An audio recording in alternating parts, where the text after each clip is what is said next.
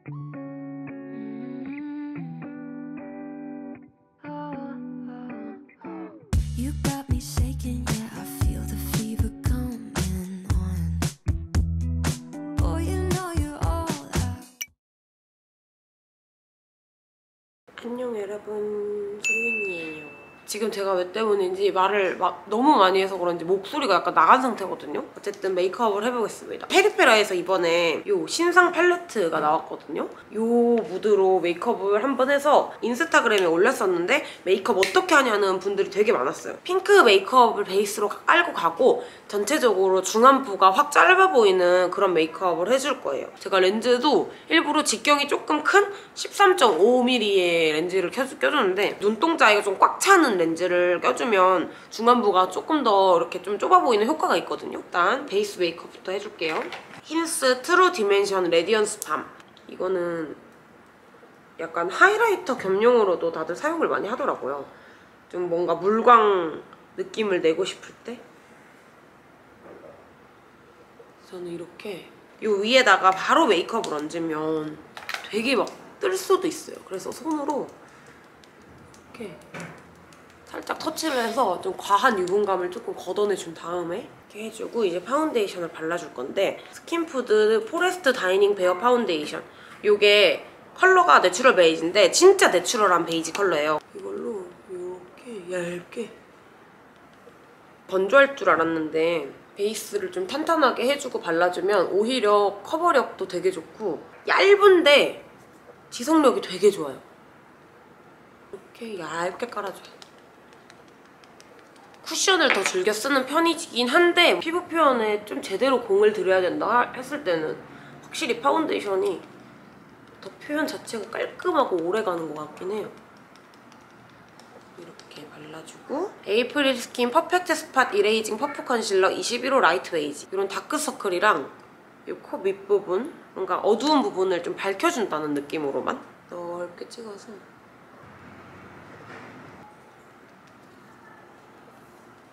아멜리 베이크드 파우더 밀키 바이올렛 퍼프에 묻혀서 밝아졌으면 하는 부분과 동시에 유분감을 좀 잡아주고 싶은 부분을 살짝씩만 터치를 해줄 거거든요. 얹으면 진짜 이 광만 싹 걷어내주는 느낌의 되게 투명한 파우더거든요.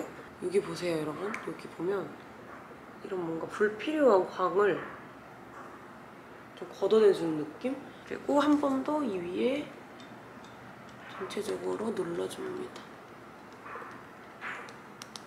이렇게. 에뛰드 그림자 쉐이딩 2호 재탄생. 컬러감도 그렇고 좀 휘뚜루마뚜루 손이 되게 많이 가서 원래 이제 쉐이딩 보면 한 컬러로만 나오거나 아니면 여러 개가 한 팔레트에 섞여 있잖아요. 두 가지 듀얼로 아예 나와 있어서 이렇게 제가 막 섞어서 쓰기도 되게 편하고 또 이게 중안부가 짧아지고 싶을 때는 당연하겠지만 요 아래턱 쳐주는 게 되게 중요하거든요. 중안부가 짧아 보이고 싶을 때는 오히려 이쪽을 밝혀주고 이쪽을 짧게 해주는 게 좋아요. 이 턱, 아래턱을 이렇게 쳐줍니다. 코 쉐딩을 해줄 건데 이게 연한 이 컬러로 먼저 베이스를 이렇게 굵직굵직하게 깔아줄 거예요. 너무 뚝 잘려서 기역자로 내려오는 것보다는 부드러운 곡선을 그리면서 이렇게 그리고 컬러를 섞어서 이 코 윗부분을 위주로 좀 이렇게 이 옆에 콧대도 좀 살려줄게요. 이렇게 코 쉐딩을 했으면 이제 눈썹을 그려줄 건데 베네피트 울트라 파인 브로우 디파이닝 펜슬 4호 눈썹 아랫부분부터 잡아줄 거거든요. 여기부터 눈이 끝나는 지점에서 이렇게 사선으로 올라가게 여기부터 이제 이렇게 결을 살려서 이렇게 해주고 이 위쪽은 스크류 브러쉬로 잘 빗어서 결대로 빗어서 이렇게 반대쪽도 똑같이 그려줄게요.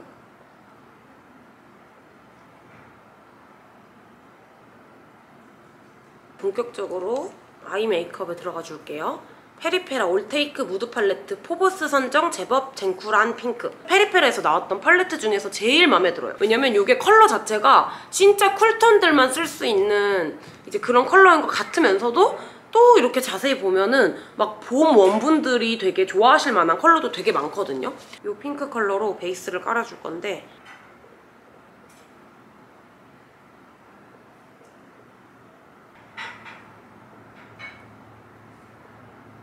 이게 이번 메이크업의 포인트는 언더 부분에 이런 색조를 좀 넣어줌으로써 중안부가 더 짧아 보이는 느낌이 있을 수 있어요.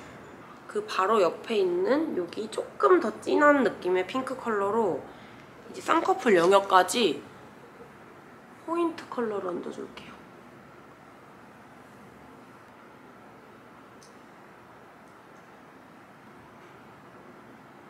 이렇게 길게 얹어주는 거. 요 음영 컬러로 앞부분에 이렇게 묻혀주고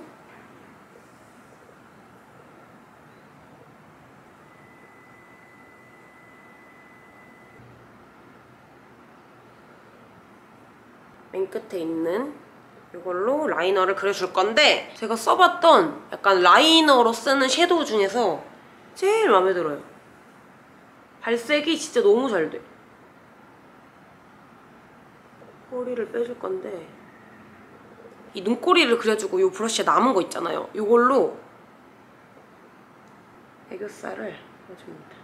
그러면 이 애교살만 그려줘도 진짜 확 짧아 보이거든요? 근데 이제 이 애교살에 또 애교살 글리터를 얹으면 확 짧아져요. 이렇게 남은 여분으로 그려주면 진짜 딱이거든요? 이렇게. 여기 있는 이 젤리 글리터로 이걸로는 눈 두덩이에만 얹어줄 거예요. 그리고 이제 애교살 글리터를 발라줄 건데 짜잔 요거를 가지고 왔거든요. 요거 보면 패키지가 없는 완전 기본 샘플이에요. 근데 이 샘플을 가져온 이유가 뭐냐 이 애교살 스틱을 정말 4개월 정도 테스트를 했었는데 진짜 이 영상을 찍기 전까지 이 글리터 정보를 알려줄 수가 없어서 진짜 입이 너무 근질근질했거든요. 드디어 이번에 페리페라에서 애교살 글리터 스틱이 나왔는데 진짜 이쁘고 실용적인 그런 글리터 스틱이거든요. 이 애교살 스틱이라고 하면 좀 너무 약간 스킬이 필요하거나 좀 과한 반짝반짝 그런 반짝이 스틱이 되게 많이 나왔었는데 요거는 진짜 스킬 1도 필요 없고 진짜 바르기만 하면 쓱 갖다 대기만 하면 애교살이 생기는 그런 초간편 스틱이에요. 여기에 또 보시면 한쪽은 애교살 면적을 잡아주는 하이라이터랑 그리고 한쪽은 부드럽고 되게 쉬머한 펄로 구성된 듀오 스틱인데 이게 스틱 얇기가 정말 딱 적당해가지고 애교살이랑 눈두덩이 글리터랑 그리고 트임 효과까지 완전 다양하게 사용할 수 있거든요. 그리고 여기 보시면 하이라이터가 내 피부톤이랑 되게 유사한 컬러여가지고 원래 내 애교살이 도톰한 것 마냥 연출이 되는데 되게 주름 낌도 없고 텁텁한 느낌도 없이 되게 맑은 애교살로 연출이 돼요. 너무 자연스럽죠? 듀오 스틱 호수는 총 3가지가 있는데 1호는 샴페인 누드 계열의 컬러로 톤 구분 없이 데일리로 사용하기 되게 좋은 컬러고 2호는 반짝이는 골드 계열의 컬러로 웜톤 분들에게 되게 추천드리는 컬러예요. 저의 원픽인 3호. 3호는 되게 청량한 핑크핑크 계열이라서 쿨톤 컬러를 좀 사랑하시는 분들이 사용하면 뿅 갈 컬러예요. 그래서 저는 3호로 애교살을 그려줄 건데 이렇게 진짜 이게 스틱 자체가 면적이 너무 넓지가 않아서 딱 애교살에 들어가는 이 두께거든요.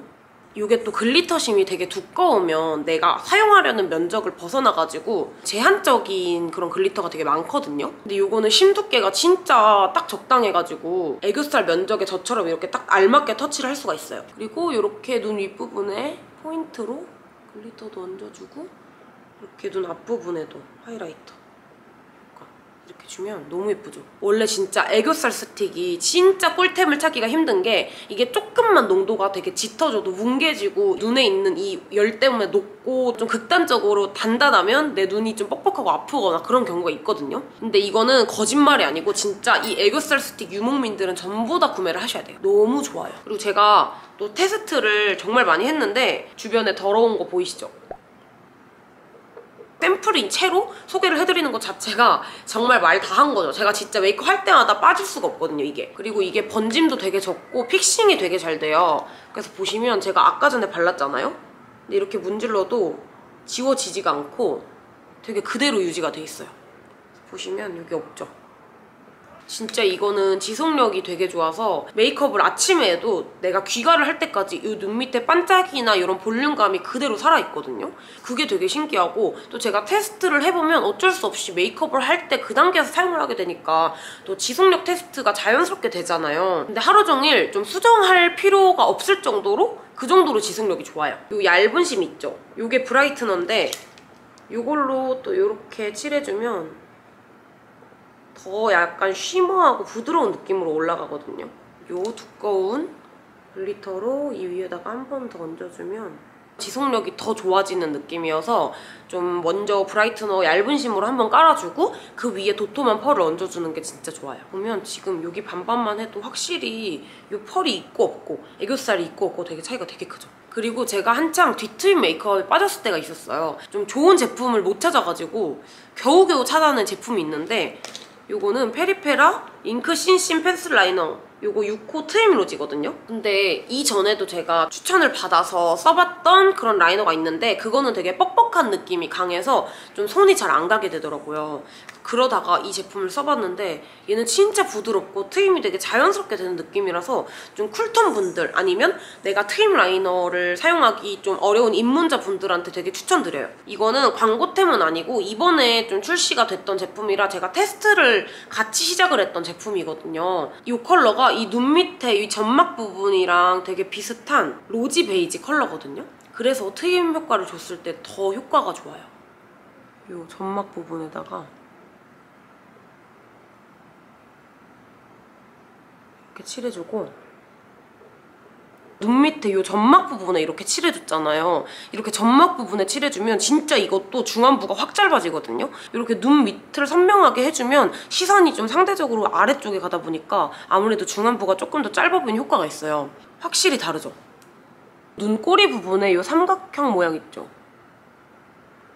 이 부분을 이렇게 삼각형 모양으로 빼주면 이렇게 상대적으로 조금 더 길어 보이는 효과가 있어요. 이렇게 해주고 이제 뷰러로 속눈썹을 또 찝어주도록 하겠습니다.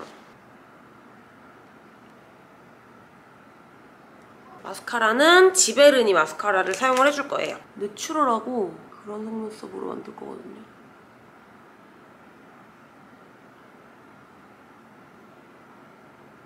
이것도 빠지지 않고 이렇게 꼼꼼하게 해줘야 돼.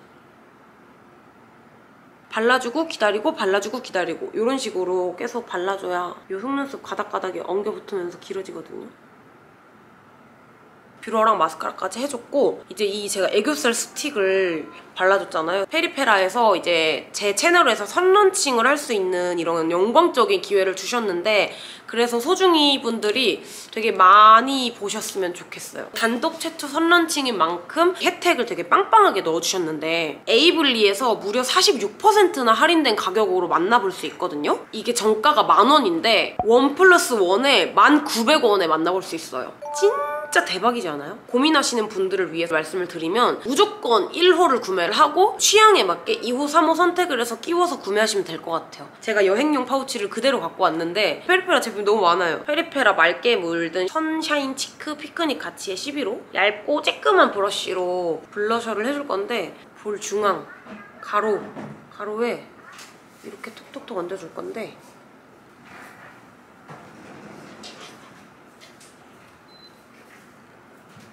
이렇게 그리고 이제 립을 발라주기 전에 입술 쉐이딩을 해줄 건데 약간 이렇게 줄일 거라고 말을 했잖아요. 그러니까 약간 입술도 도톰하게 만들어주면서 옆에 가로보다는 요렇게 세로로 도톰하게 만들어주면서 요 중앙에 최대한 시선이 많이 쏠릴 수 있게 해줄 거예요. 코 밑에도 이렇게 끊어주면 이 비주가 되게 길어 보이면서 중안부가 짧아지거든요. 립은 진짜 죄송한데 제가 의도한 게 아닌데 페리페라 잉크무드 매트 스틱 당모 쿨핑 이게 페리페라 립이 제가 좋은 이유가 저처럼 각질이 많은 사람들이 얹어도 이 각질을 조금 숨겨주면서 발색이 돼요. 스머징을 해주는데 포인트는 이 옆부분이 아니라 오늘은 이 윗부분으로 점점 길어지게 해주는 거예요. 이렇게. 그리고 여기 또 점점 위쪽으로 터치해주면서 베이스를 깔아주고 롬앤 블러 퍼지 틴트 비비 캔디 요거를 입술 중앙에다가만 깔아줄 거예요. 저희 호캉스 브이로그에서 젤라 언니가 자기한테 안 어울린다고 저한테 줬는데 제 인생 립이 되어버린 요 립이 바로 요겁니다. 그러니까 이게 컬러가 쿨톤들이라면 무조건 사야 되는 컬러거든요. 이렇게 안쪽에다가 또 스머징을 마지막으로 롬앤 시스루 베일 라이터 문키스트 베일. 완전 이런 라벤더빛, 핑크빛이 나는 하이라이터예요. 진짜 딱 얹었을 때 이 컬러감이 입혀지는 그런 하이라이터여서 너무 예뻐. 그래서 여기에 이렇게 전체적으로 얹어주면 끝!